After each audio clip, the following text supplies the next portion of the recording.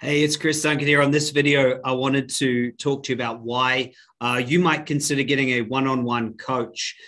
It, it's something that many of us aren't used to thinking about is why would we want a coach? Uh, why would we need a coach and how will it help? The, the truth is, is having a coach, having someone who's non emotionally bought into everything that you're doing in your life, who is one step away and that can watch and give you guidance is probably the most valuable investment you can uh, you can make after investing in your own education.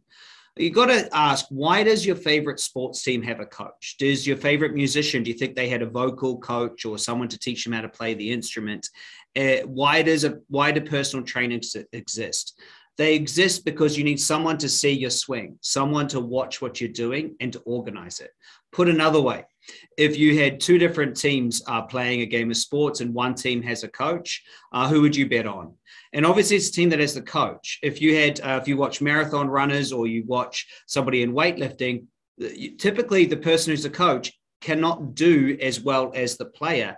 They're actually a skilled coach. In basketball, uh, the great Phil Jackson was a coach of Michael Jordan, also Kobe Bryant. He got more rings as a coach than either of those two ever did as a player. He was a good player in his own right. Uh, he actually made it to the NBA, but he's he's not in the conversation of the greatest ever, which Jordan and uh, and Kobe are. And, and so, a coach is somebody that gets the most out of you. Having a business coach or a personal coach is is absolutely been it's something that I invest in. Uh, second to uh, second only to education second only to education. In fact, everyone, uh, all the top leaders in Silicon Valley, there was a book written about their coach. It's called The Trillion Dollar Coach. And uh, you can have a look. I believe his name is Bill Campbell. And he was the coach to a whole heap of these top Silicon Valley executives who just wanted somebody to, to talk to, to, to run ideas by that wasn't invested in the business or the staff or, or anything else. See, as a business owner or in life, it's very difficult to find impartial knowledge or impartial people that you can just talk to you know especially in business as you become more and more successful the, the people that you can talk to gets less and less and less. Like there are some things you cannot talk to your staff about. You cannot talk to your um, bank manager about um, your, your, friends you can't talk about. Sometimes your spouse is sick of hearing about about uh, your business. So, so having a coach is amazing but not all coaches are created equal one of the biggest problems with coaching is when a coach tries to give you advice and tell you what it is that you should be doing, um, taking the power from your own decision making. I see that as a massive problem. You never have a coach that's there to give advice. Uh, they can give you advice about how you should think or how you should be with certain situations, but not how to do things. Okay. The, the second mistake I see uh, with a lot of coaching is they focus on the problem, they focus on, on what's wrong and what they need to fix. So, what it is that you need as a coach is someone that can hold you to what we term the creative orientation. The creative orientation is when you're focused on creating end results that you love. The second thing, a coach must have the ability to help you shift resistance that you have to that outcome. The third thing, the coach must keep you accountable. Fourth, the coach must help you find your own personal end results and your own personal answers. And five, the coach should get a return on investment. Your business should grow, your life should be easier, and you should just feel like you have someone in your corner that is paid to, to be there with you to make sure you're living on the highest frequency and not getting stuck in your egoic, self uh, conscious agendas. And that's a really important thing. Having a coach gives you a return on that investment into the coach.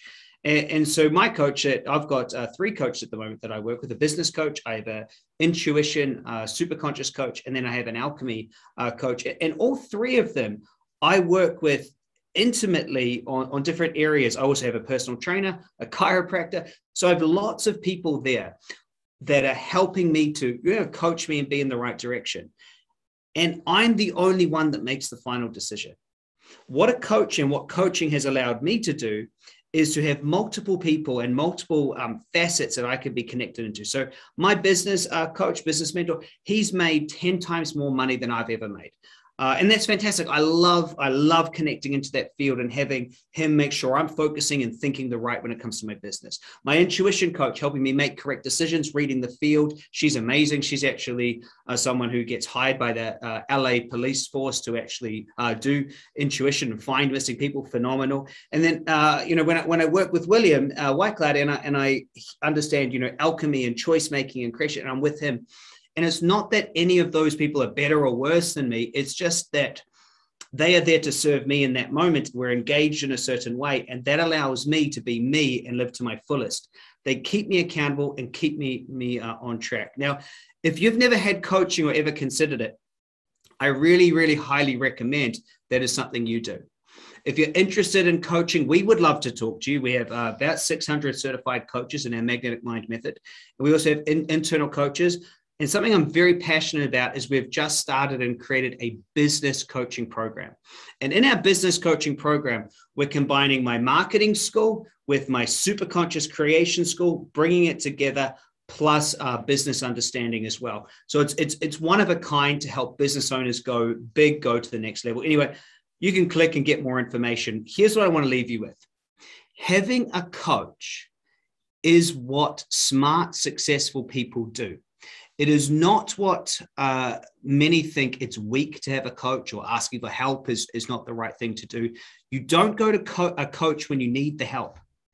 You go to a coach bef- when you're wanting to create big results. You don't go running when you've got a problem. Ah, come fix me. I've got no money. But it's when you're actually moving and you're actually being successful. That's when you want to double down on your success and turn your, your 10% or 20% improvement to 30 or 40 or 50. The best time to engage in a coach is when you're moving. The hardest time is when you're not moving. The coach has got to come in and try to help you and get things moving. So if you're moving and you want to go faster, you should check out uh, what it is we're doing. Love you so much. Thanks for subscribing to this channel. I'll talk to you very soon. Bye for now.